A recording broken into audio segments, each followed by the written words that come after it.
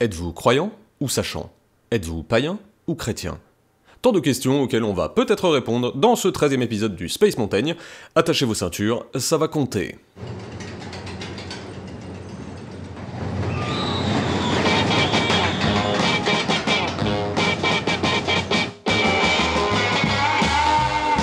Attends, c'est une prise de tête d'un autre monde D'un autre monde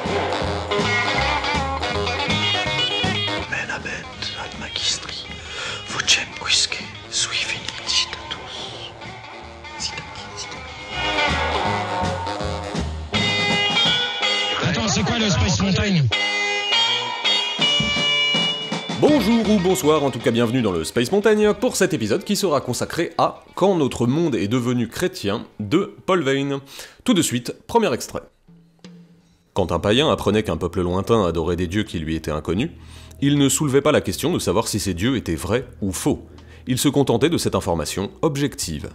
Pour lui, les dieux des autres étaient des dieux de lui inconnus, qu'il serait peut-être bon d'importer, de même qu'on acclimate dans son pays d'utiles plantes exotiques. Vane commence par une donnée fondamentale et qui fait souvent défaut à la perception que l'on a de la croyance. L'exclusion du vrai et du faux. Mais nous y reviendrons. Le plus important ici, c'est son exemple des plantes exotiques. En gros, il nous dit qu'aux époques antiques, les gens ne niaient pas l'existence d'autres dieux. En bons polythéistes, ils rendaient culte à de nombreux dieux. Selon la cité d'où vous veniez, le métier que vous exerciez et l'heure de la journée, vous vous en remettiez à tel ou tel. Et cette diversité dans le grand fourre-tout des dieux, si vous me permettez l'expression, implique en soi-même le fait qu'elle n'est pas restrictive. J'ai plein de dieux, mon voisin en a plein aussi. Lorsque l'on considère que la quantité est possible, elle l'est également pour ceux que j'ignore. Il doit bien y avoir, à l'autre bout du monde, des peuples qui adorent des dieux différents. Cela ne vient pas en contradiction avec ma pratique. Et ces autres dieux, d'ailleurs, sont-ils si différents? Ou encore, il admettait que les dieux étaient partout les mêmes, sous des noms différents. De même qu'un chêne est partout un chêne. Les noms propres des dieux se traduisant d'une langue à l'autre comme les noms communs. Zeus se dit Jupiter en latin, et Taranis en celte. Les Gaulois, écrit César, adorent surtout Mercure, Apollon, Mars, Jupiter et Minerve, et se font de ces dieux à peu près la même conception que les autres peuples. Prolongement dans la constance. Si ça se trouve, ce ne sont même pas des dieux différents, ce sont les mêmes dieux avec des noms différents. Et là, on ne peut pas s'empêcher de penser à ce qu'on appelle aujourd'hui la mythologie, hein, et à ce qui s'est passé dans tout le, bassin méditerranéen. On a souvent coutume de dire, euh, les Romains, ils ont tout piqué aux Grecs, qui eux-mêmes avaient tout piqué aux Égyptiens, qui eux-mêmes, etc., etc. Mais c'est une vision caricaturale. hein. Il n'y a pas vol, il y a continuité. C'est un prolongement logique que de vénérer les dieux des autres lorsque l'on vit dans un système de multiplicité. Les Romains n'ont pas copié-collé bêtement les dieux des Grecs, pas plus que les Grecs les dieux des Égyptiens, juste parce qu'ils étaient euh, trop fainéants pour s'en trouver des nouveaux. hein. Ils ont importé des dieux qui étaient déjà vénérés, et qui, donc, existaient bel et bien. Et après, les en passant, ils les acclimataient à leurs propres pratiques et à leurs propres jugements. Euh, Hermès n'est plus tout à fait Thoth, Bacchus n'est plus tout à fait Dionysos. Mais la continuation est logique. Ce sont les mêmes dieux, sous des noms différents. Et la suite logique de cette multiplicité et de son évidence est détaillée juste après. Un païen incroyant disait rarement Les dieux n'existent pas, ne sont pas vrais. Il se bornait plus souvent à dire Il est inutile de leur rendre un culte en pensant acquérir leur faveur, leur protection. En d'autres termes, si nous avions interrogé un païen que nous dirions incroyant, il ne nous aurait pas répondu Je ne crois pas aux dieux, les dieux n'existent pas. Mais plutôt Tout cela ne m'intéresse pas, je n'ai rien à faire des dieux, je les ignore, il ne sert à rien de les adorer. Et en effet, puisque les dieux sont partout, sous d'autres formes et d'autres noms, la question à se poser n'est pas les dieux sont-ils vrais, mais que nous apportent les dieux? Les incroyants dont parle Vane ici ne sont pas des athées au sens moderne, hein, ni même des agnostiques, car nous ne parlons pas de croyance. La religion, pour employer un grand mot, est alors distinguée selon les pratiques cultuelles. D'un côté, vous avez la religion, les bonnes pratiques pour rendre culte aux dieux, de l'autre, vous avez la superstition, les pratiques excessives et extravagantes. Et euh, euh, notre incroyant, là, il dénonce la seconde. Il dit que l'on ne peut rien attendre des dieux, ou que lui-même s'en fiche complètement. Il ne nie pas leur existence, car il n'y a rien à nier. Les dieux sont. Bon, je sais, arrivé là, si vous ne connaissez pas les systèmes polythéistes antiques, vous pouvez vous demander ce que j'ai fumé, car on dirait que j'affirme que les dieux existent et que vous devriez faire de même, mais c'est pas tout à fait ça. hein. En fait, sans le savoir, nous calquons sur toutes les religions passées et présentes une grille de lecture monothéiste, exclusiviste. Nous employons quantité de termes, euh, religion, croyance, foi, qui n'ont aucune pertinence dans un autre système. Mais vraiment aucune. Je sais que c'est pas évident hein, de bousculer son propre paradigme pour se mettre dans les sandales d'un type mort il y a plus de 20 siècles, alors demandons directement à Vane de nous expliquer ça plus clairement. Un païen ne professait rien, ne disait pas croire à ses dieux. Il allait sans dire qu'il y croyait, puisqu'il leur rendait un culte. Chaque peuple, disait-on, avait ses dieux à lui. Chaque individu pouvait avoir les siens. On ne faisait qu'adorer les dieux qu'on voulait, quand on voulait. C'est depuis l'exclusivisme chrétien qu'on emploie le verbe croire. Les chrétiens ne croyaient pas aux dieux des païens, et réciproquement. Patatras. Vous comprenez maintenant d'où je voulais en venir avec cette histoire de euh, les dieux sont. Le christianisme a apporté quelque chose de bouleversant dans le rapport aux dieux, la croyance. Aujourd'hui, on a tendance à plaquer cette idée de croyance sur tout et n'importe quoi. Et du coup, forcément, on le fait avec n'importe quel bouquin de mythologie lorsqu'on étudie euh, l'Égypte antique au collège. hein. On se dit, oh, c'est rigolo qui croyait à des types à tête d'oiseau. Mais en fait, tout cela est à la fois bien plus simple et bien plus compliqué. Bien plus simple, car tel était le temps. À l'époque, le polythéisme était la norme. Il était donc logique, comme on l'a vu au début, que chaque peuple ait son petit panthéon de dieux avec leur, leur spécificité, leur histoire, et, euh, évidemment leur, euh, leur rituel associé. Et en même temps bien plus compliqué, car nous sommes aujourd'hui presque incapables de se mettre dans la tête des humains de l'époque. Nous pensons tout en termes de croire, en termes d'avoir la foi, en termes de, de surnaturel, ou que sais-je encore. Que des catégories, des termes et des concepts qui n'avaient alors pas de sens, et qui sont totalement impertinents dans l'analyse des polythéismes. Pour nous, tout est devenu très simpliste. Soit c'est vrai, soit c'est faux. Soit ça existe, soit ça n'existe pas. Tout cela est bien trop simple. Pour illustrer, euh, Vane écrit euh, d'ailleurs à une autre page qu'en en, en polythéisme, on pouvait tout se permettre et qu'on ne jugeait pas, euh, on ne jugeait plutôt que sur les pratiques rituelles. On jugeait le dieu à la manière dont on lui rendait culte. Du coup, si les pratiques rituelles de ce dieu étaient considérées comme immorales, eh ben on le bannissait. Pas, euh, pas les pratiquants, hein, on bannissait le dieu. On disait qu'il n'était pas le bienvenu dans la cité, et cela devait décourager les citoyens de lui rendre un culte. Une fois de plus, pas question de euh, ce dieu est faux, hein, ou de ce dieu est mensonger, et certainement pas de ce dieu n'existe pas. Simplement, son culte est immoral, on veut pas de ça chez nous. C'est pourquoi je parlais tout à l'heure de, de paradigme monothéiste exclusiviste, qui peut paraître être un, pléonasme, mais comme d'habitude, eh ben, c'est plus compliqué que cela.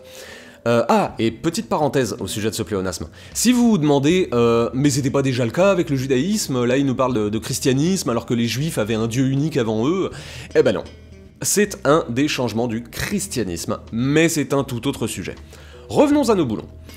Qui dit naissance d'un exclusivisme dit début d'une vérité.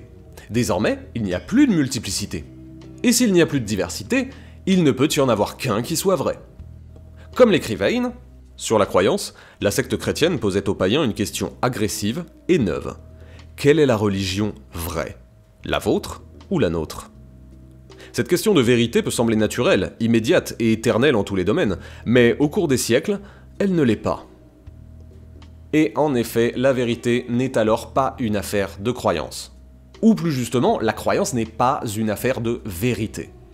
On a aujourd'hui toute une, réflexion sur la possibilité de l'existence d'un dieu, sur les explications des miracles, sur le fonctionnement du système solaire, euh, que sais-je, mais tout cela est une construction moderne d'une opposition entre la vérité et la croyance. Donc entre ce qui est vrai et ce qui est religieux. Ça n'a pas de sens. Un exemple de la nullité d'opposer la vérité et la croyance. Les Grecs disaient que les dieux vivaient sur le mont Olympe. Le mont Olympe. Une montagne. Qui est en plein milieu de la Grèce. Sérieusement, vous croyez vraiment que... Ah bah tiens, croyez, joli exemple de, de l'emploi du mot. Euh, bref, vous, vous croyez vraiment qu'ils y croyaient vraiment? Je veux dire, les types n'avaient qu'à prendre leur âne et faire un peu de marche à pied pour aller jusqu'au mont Olympe. Et constater qu'il n'y avait pas de dieu. C'est un exemple parfait de ce que nous calquons des concepts et des idées sur des phénomènes qui n'ont rien à voir avec notre vision de la religion et de la croyance aujourd'hui. Nous prenons comme une preuve l'inexistence, alors que les Grecs eux-mêmes constataient cette absence des dieux sur le mont Olympe. Cela ne remettait rien en cause. C'est un tort partagé que de vouloir désormais considérer que croire est un terme qui s'oppose à savoir.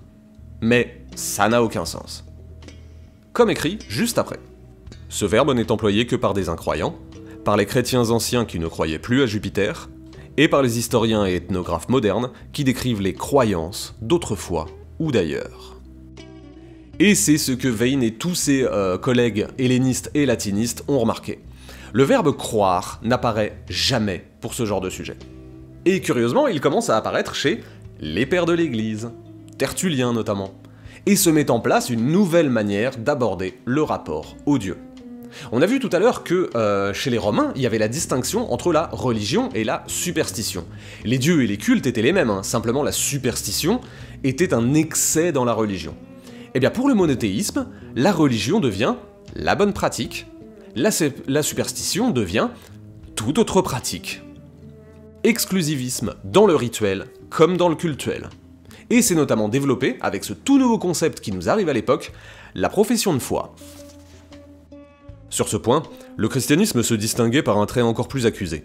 C'était une religion à profession de foi.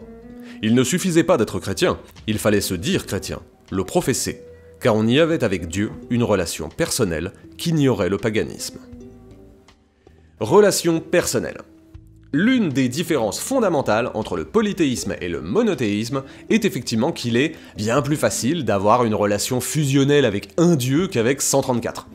La, profession de foi était donc presque une méthode performative pour souscrire à cette nouvelle religion et affirmer la puissance de sa croyance. Si les, les, dieux du polythéisme avaient eu une histoire, des défauts, ils nous semblaient presque trop médiocres pour qu'on puisse s'y sacrifier.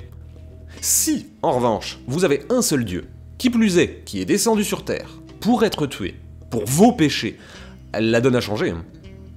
Il ne s'agira donc pas simplement de rendre un culte, un peu comme on le ferait d'une mauvaise habitude en fait, hein, mais également d'être convaincu en son fort intérieur, d'être digne du sacrifice de votre Dieu et de le montrer, de le dire, de le professer. Et pour des raisons historiques que je ne pourrais pas détailler ici parce que euh, pas le temps, la religion chrétienne connut une expansion exponentielle dans l'Empire romain, qui finit par la faire reconnaître comme religion privilégiée, puis finalement comme seule religion licite de l'Empire. Comme nous l'avons vu, c'est un cercle aussi pervers que vertueux, qui pousse à son établissement exclusif. Le seul Dieu ne peut être qu'une seule vérité. Et s'il n'y a qu'une religion vraie, il faut que les autres soient illicites. Car si notre religion est vraie, il faut bien que les autres soient fausses. On affirme fortement la fausseté d'une croyance, au lieu de la laisser en paix, que là où elle s'oppose à celle que l'on professe et que l'on tient expressément pour seule vraie. Toute conscience d'être vraie veut la mort de l'autre. Conclusion. La vérité est une chose compliquée. La religion est une chose compliquée. La croyance est une chose compliquée. Mettez les trois ensemble, ben vous obtenez Paul Vane et il vit que c'était bon. Euh, nous avons souvent du mal à sortir de nos cadres pour nous projeter en d'autres temps et d'autres espaces. Trop pressés que nous sommes de juger avec nos critères et nos grilles de lecture, il faut pourtant savoir s'en distancer pour apprécier la pensée des autres. Et, en l'occurrence, il fut une étape majeure dans l'histoire de la pensée que celle de l'avènement d'une nouvelle forme de vérité. Nous pensons naïvement que les soi-disant païens croyaient en leur Dieu, et qu'ils pensaient qu'ils existaient pour de vrai, mais tout cela est une incompréhension et une absence de perspective. Le polythéiste ne croyait pas, il rendait un culte. Il n'avait pas la vérité, il la constatait. Si le polythéisme portait en son sein, ontologiquement, sa diversité et sa multiplicité, le monothéisme ne pouvait qu'apporter la vérité. Car il n'était plus possible de rendre culte à des milliers sous des noms différents selon les heures de la journée. Il fallait, si l'un d'eux était vrai, que les autres fussent faux. Il fallait, si notre rapport devenait total, que nous ayons la croyance vraie, et que les autres deviennent le faux. Il ne devait en rester qu'un. Merci à toutes et à tous pour votre oreille attentive, ou vos oreilles attentives si vous en avez une paire. C'était le 13e épisode du Space Mountain consacré à Quand notre monde est devenu chrétien de Paul Vane. Euh, en attendant le suivant, n'hésitez pas à écouter les autres épisodes, il s'y trouve des vérités que je ne vous demande pas de croire, mais de constater. Je vous retrouve très vite.